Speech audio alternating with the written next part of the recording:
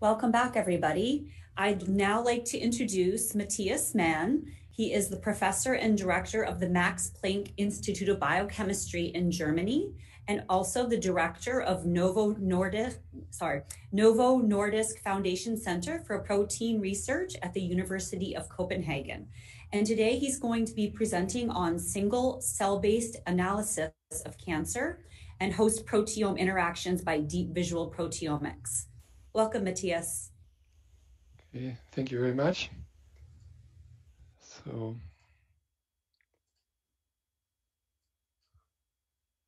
um, can you can you see my screen? Okay, good. Yeah, thank you very much for the opportunity to present here. It's uh, been a fascinating meeting already. And um, um, I want to contribute a, a, proteomic angle to, to this and uh, how we can now study um, uh, directly uh, cancer heterogeneity at, at, the cellular level. So that's a very new uh, developments.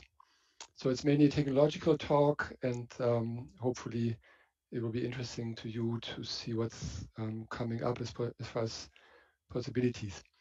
So um, uh, proteomics um, can in principle, or that's the aim at least, that it can look at uh, proteins at a large scale and uh, can look at also the modifications of proteins, where they are in the cell, and so on. And I think the technological advances have been just as spectacular as in genomics. It just started uh, from a much lower base, so it will take a while until we get to the numbers that you know from genomics.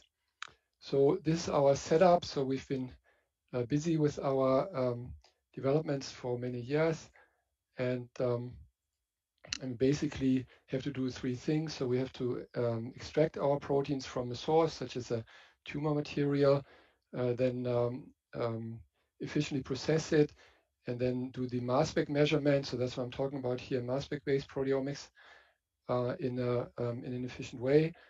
Uh, so we have two platforms for this, uh, which I'll come into, and then we have to analyze all this data um, it's also very big data um, with uh, bioinformatics methods. So we've been uh, studying mainly, mainly, cellular biology questions in the past, and uh, and now more and more we're getting into um, clinical applications. So uh, this is um, to show you that the technology is indeed coming of age.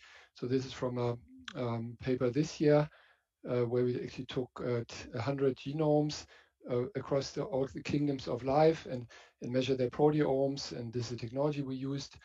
Uh, and then uh, we actually doubled uh, the number of proteins that there's experimental evidence for uh, in this one study. And we can also say very generally what uh, what is um, the end product of of um, gene expression cascade.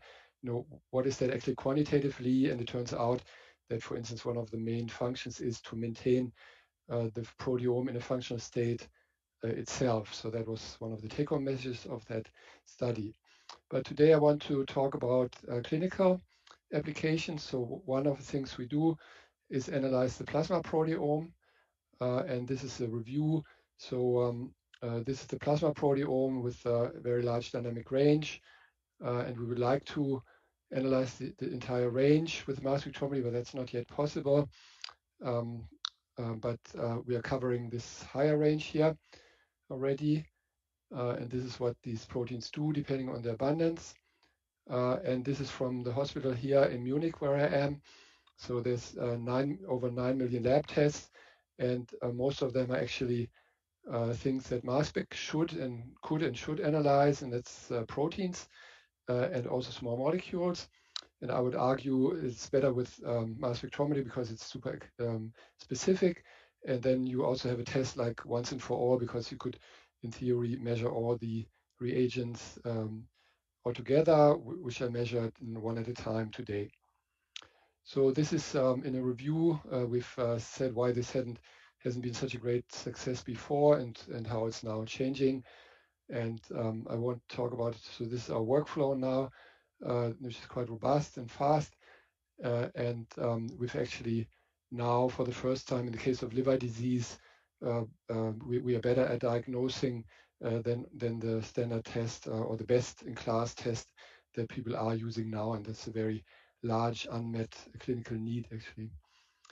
So then we want to be able to say what, what is the health state of the person from the plasma proteome. So um, that's, um, but that's not what I'm going to talk about today.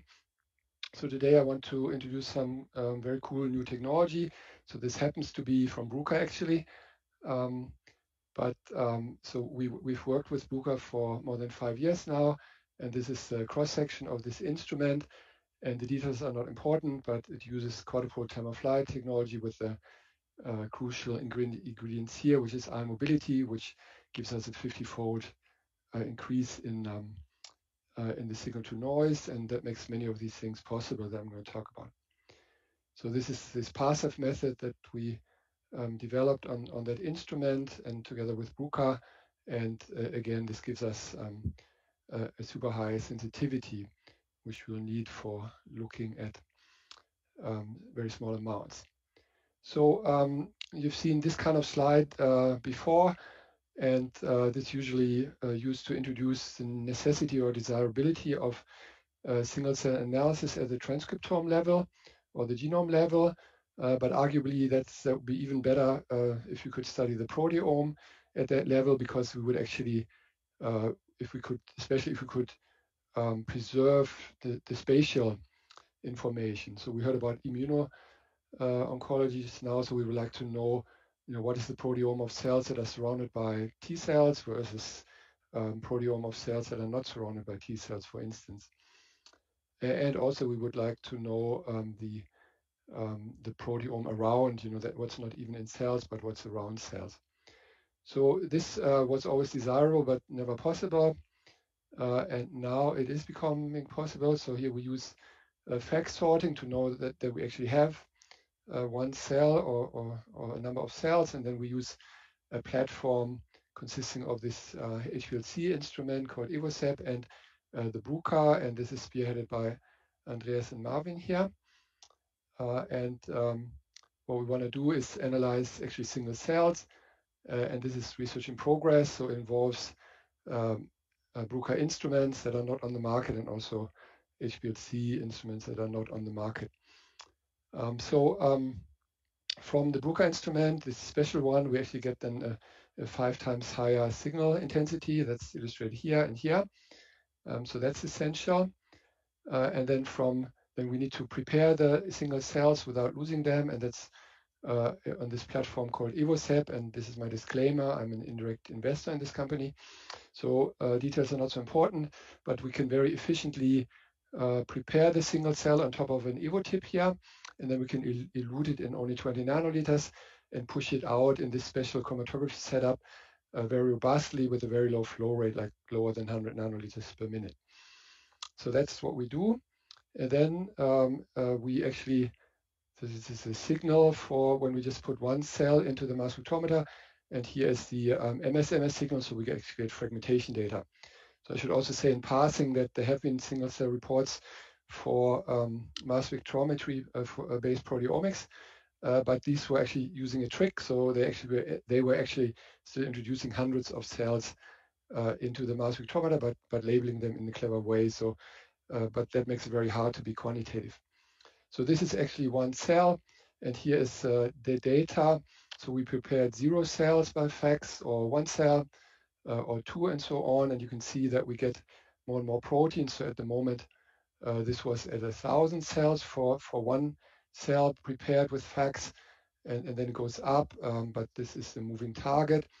So, uh, and, and what's very important also conceptually is the quantitative aspect. So we can uh, here compare um, bulk preparations of um, of cellular proteomes, and, and we get a, a, a nice Pearson correlation coefficient here and then we go only to eight cells. Um, we also have a nice uh, Pearson correlation, but but this is very interesting. So if you have one cell and um, quantitate its proteome against another cell, you still get a very high uh, quantitative accuracy. And this is in contrast to transcriptomics, not of any technological, not because of any technologically limitations, but because uh, you have shot noise. So the, the single cell doesn't need all the messages all the time. So it doesn't actually express them, uh, but it does need a function, functional proteome. So presumably every single cell has a quite complete proteome, but this wasn't actually known before. And now we, um, we can actually show this. and if this is all true, we should also be able to see uh, some biological regulations in single cells, and this is hot off the press, um, or not even off the press, uh, this is hot from the lab. So here uh, we have a number of cells, so 92 single cells, so we can do them about half an hour, one single cell proteome. And then we have here um, HeLa cells that we've arrested and um, and then then FACS sorted, and we get quite good um, data completeness with a technology called DIA-PASEF. Uh, and then indeed, in the principal component analysis, we see uh, that we have several populations um, like that that uh, later out turn out to be different in the cell cycle. So we, we do see the um, cell cycle proteins here in, in the single cells um, that should allow us to assess the cell cycle. And then indeed, if we if we do the matrix here, we uh, we see um, uh, enriched by um, by bioinformatics, we see enrichment of pathways that uh, point to S phase for these cells or G phase, so or, or G2 G2M phase transition. So this is actually possible. This is not exactly how we want to do this because we lack the barcode that uh, George Church was talking about. Um, so, uh, but but this shows that we can actually have the sensitivity of a single uh, cell. So now, how do we want to study cancer? That's shown here. So we use uh, deep learning. So this upper part here is, uh, or this part here is what's also known as digital pathology. So we um, um, so so we take uh, FFPE tissue or um, FFPE embedded uh, tissue and we look at it with um, uh, high content imaging. And then we use an AI to segment the cells. Either we teach it what, what cells we want or we let it decide itself. And then we have a special laser dissection micro, microscope where we then cut out these uh, coordinates from a, particular class, and then we use the setup I just showed you uh, to uh, to get the proteome. And then um, we hope this will be a, a resource uh, for researchers and also for clinicians. So, and that's Andreas and Fabian that um, that are spearheading that in my Copenhagen uh, group. So, and this this is actually a teamwork. So this is from Peter Horvath uh, in Hungary. So he's one of the leaders in image segmentation by uh, deep learning. And then uh, our labs in Copenhagen and in Munich. And then also um, uh, a team from Leica uh, because the hardware of, of the LCN had to be changed. So, um, so we have a history in looking at cancer, especially ovarian cancer by proteomics. And here are some of, of the um, papers here. Um, and for instance, um, here, uh, this is a paper that came out uh, last year. Uh, we actually separately cut out, but this is microdissection, uh, the tumor uh, um, of, of uh, in ovarian cancer over several stages, but also the stroma here. And in this paper, um, you can read that, that the target then turned out to be in the stroma. And that's sort of what you would want because um, the stroma is, you know, is not uh, it's not so easy for the stroma to mutate away as it is uh, for the uh, for the tumor as we as we heard this morning already. So um, and then what can we now do with this technology? So this is salivary gland and uh, we are using this um, deep learning with um, style transfer and so on from the Peter Horvath group.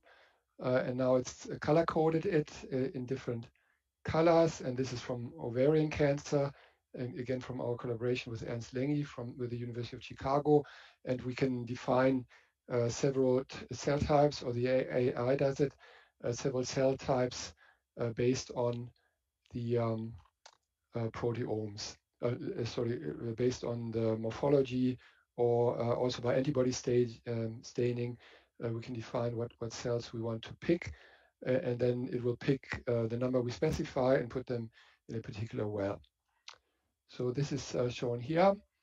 So we um, uh, uh, we cluster these cells and classify them, and then we um, uh, uh, we actually excise them into uh, particular wells. In a, we usually do this in a 96 or 384 well format. And this is again the salivary gland that I showed you before. So after classifying, it's then colored it in different colors and this is on the basis of morphological features here. So um, uh, yeah, so this is um, how this works. So again, every every cell gets the number and the contour, so that's that's saved, and then it's going to be cut out here. Uh, so it goes uh, pretty fast, so we can actually cut out 30,000 cells per day. So it takes a second or two per um, per cell, uh, and then um, we uh, actually get what we call or what's called biological fractionation. So if we are interested in a particular cell type, uh, then the proteins that are particular for that cell type, they will actually be high in the rank. So this, are, this is the most abundant protein here in that cell type, and it will be the least uh, abundant that we can detect. And then some specific proteins that are known to be characteristic for these cells, they, they're relatively high abundant. And we can see this also in large-scale resources like the Protein Atlas from Sweden, from Emma Lundberg and Matthias Uhlén. So um, um, so that's as it should be. And here's another example from uh, melanoma. So this is um, a, a, slice from melanoma tissue, and uh, it's in color. The AI is color coded these different um, uh, cell types here, and we um, we're cutting out the ones associated with uh, uh, with the melanoma. And then if we look in the proteome for that, we see again this biological enrichment, so that the the most abundant proteins um, uh, from that, uh, that cell type are actually annotated in the literature as having something to do for with melanoma. Uh, whereas if we had analyzed the bulk uh, proteome, they would be uh, way down here in the uh, in the abundance rank. So now there's actually nothing nothing is stopping us at at the single cell level. So we could also look at parts of the cell. So that's what we've done here. So we've cut out actually nuclei versus whole cells, and then we've measured the proteome. So it's not one nucleus and one whole cell, but, but more. Uh, and then if we do the um, proteome and the bioinformatic enrichment, we see uh, uh, we see uh, uh, processes that are um, characteristic of the nucleus here enriched, and uh, what happens in the cytosol is more enriched here or in the plasma membrane. So that's as it should be and we can do this again fully automatic. So the, the holes here that you see, uh, then the laser has already cut out these um, nuclei and, and the other contours it's, it's gonna cut out in a minute.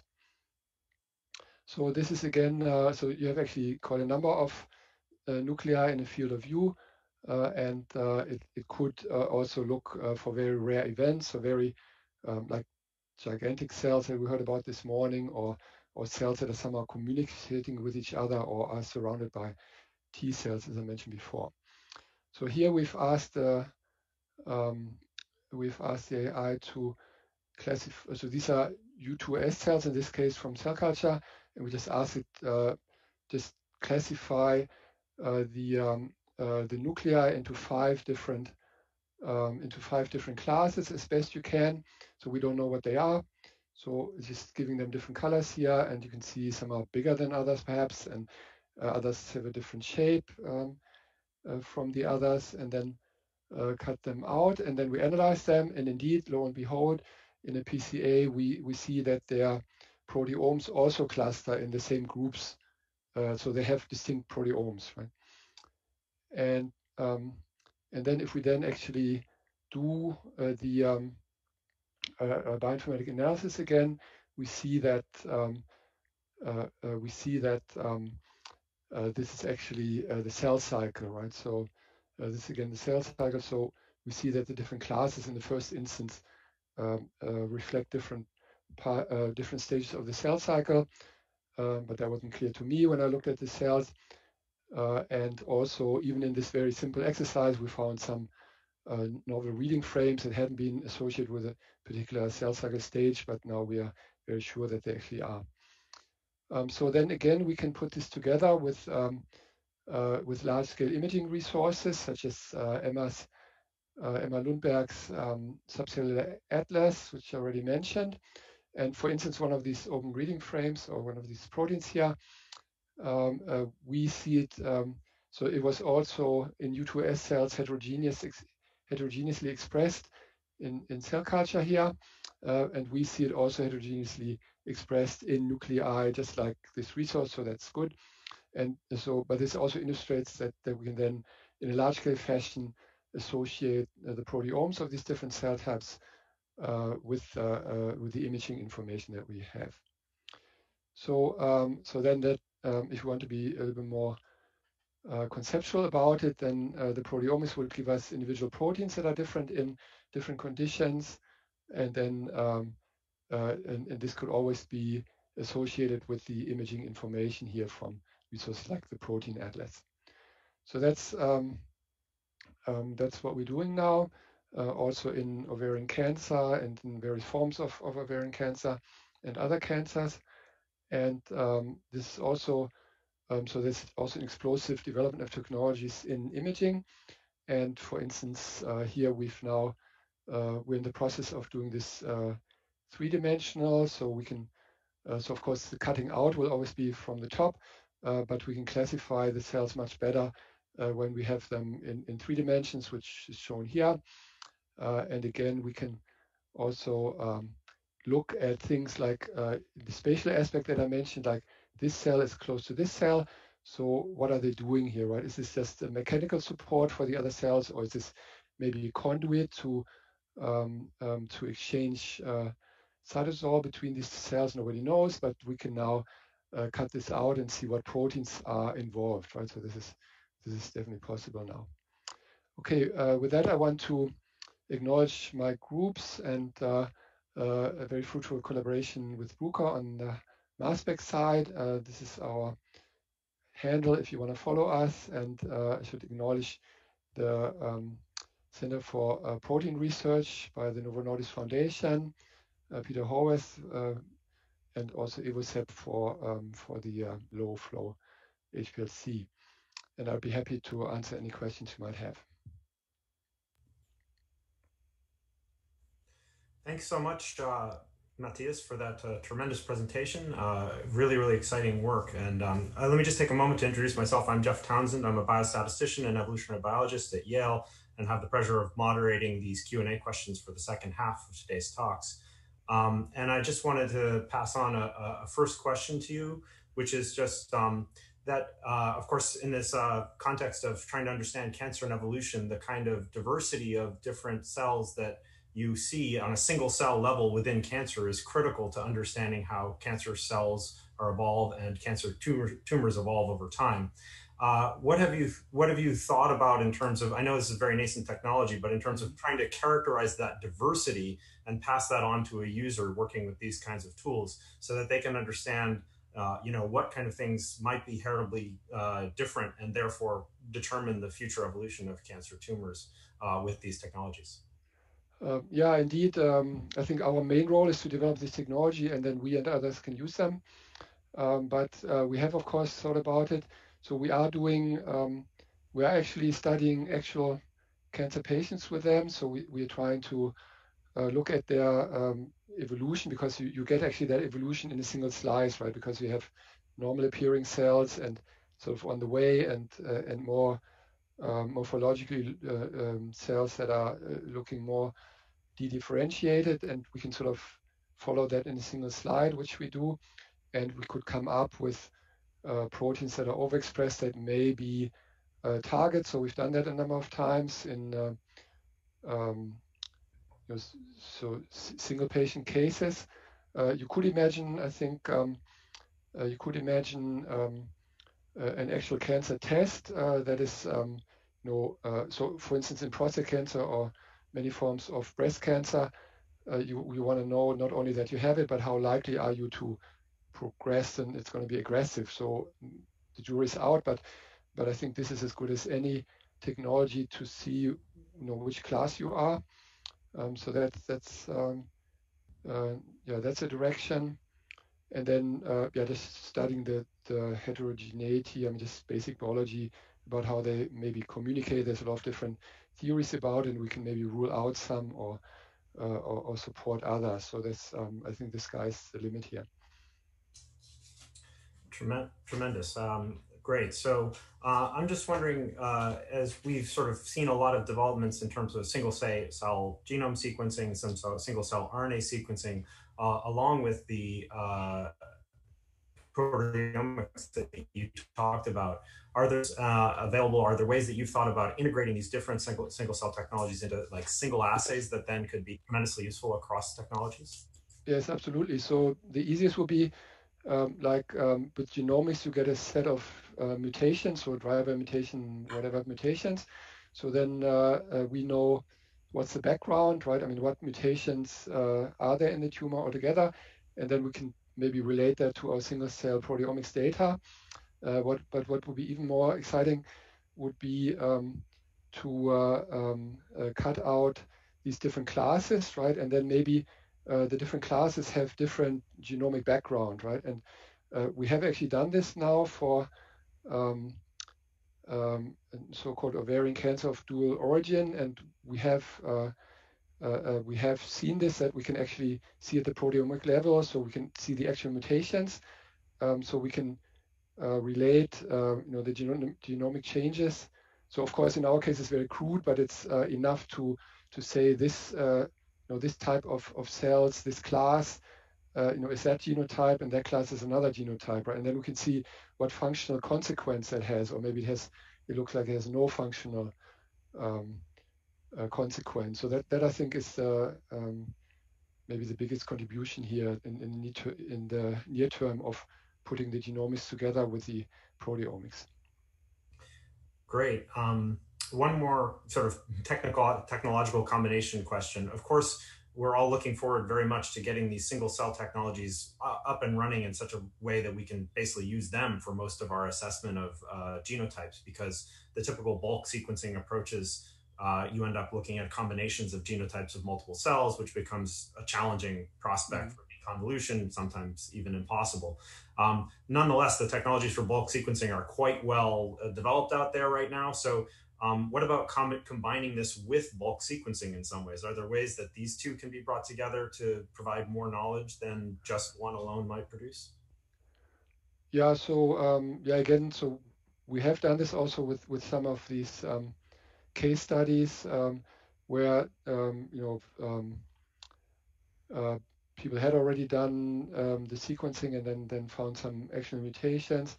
Uh, but of course, we see the uh, we see the cases where they haven't found those, and we uh, know in one cancer we saw. Um, I mean, they had they had seen a mutation that they had uh, not um, called actionable uh, because that mutation belonged to another cancer. But then we also saw it at the proteome level, and then that together, they said that was okay, and now they um, now they want to treat um, along those lines. So so just having the two technologies overlap uh, helped in that case. Thanks, Matthias. Thanks so much for bringing us up to date on these uh, really outstanding technologies.